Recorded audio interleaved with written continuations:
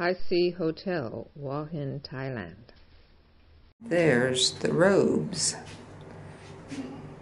and the safe, if you can figure it out. The hair dryer and flashlight. Hopefully the power doesn't go out while we're here. And laundry bag.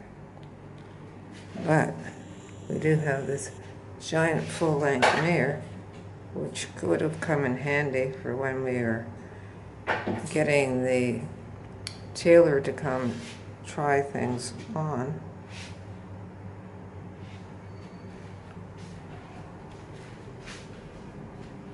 And there's the controller for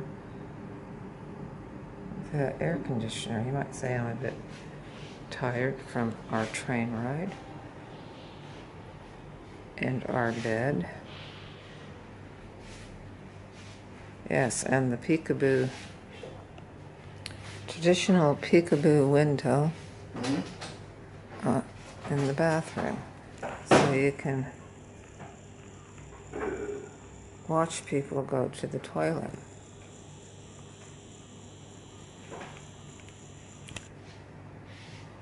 And then we have our tea and our TV.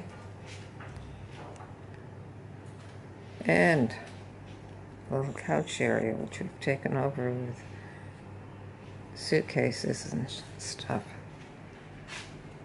I do need to travel. Walk-in shower and also a bathtub here. Well, I guess they kind of had that at our other hotel we stayed in on Koh Samui. Or maybe I'm saying it wrong. I probably am. The Namai Beach. And then somebody will say I'm saying it wrong. But there I can go all the way out to the ocean and see a palm tree. And make it look like I'm right at the ocean.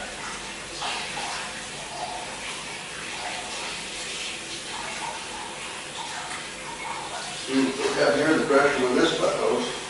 Yeah, well, the other one just about blasted your butt off.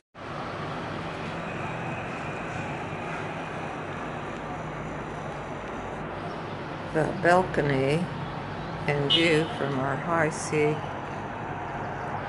room in Hua Hin.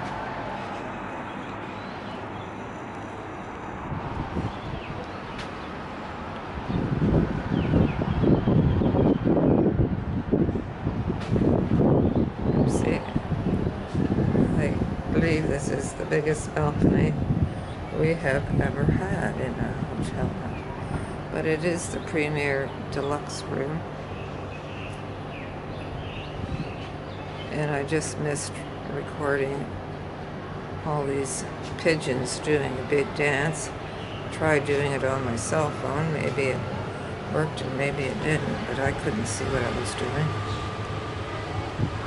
They'll probably do it again. Well, I think here they go.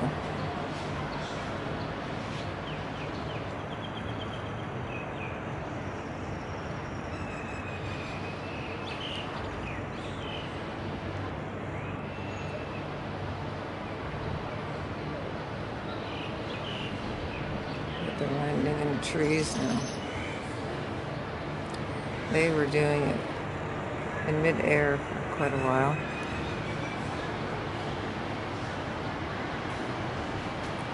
Not too far from the night market. Here's the Hilton. Hotel. We stayed across from the Hilton last time. There for a week. And stayed at the Salon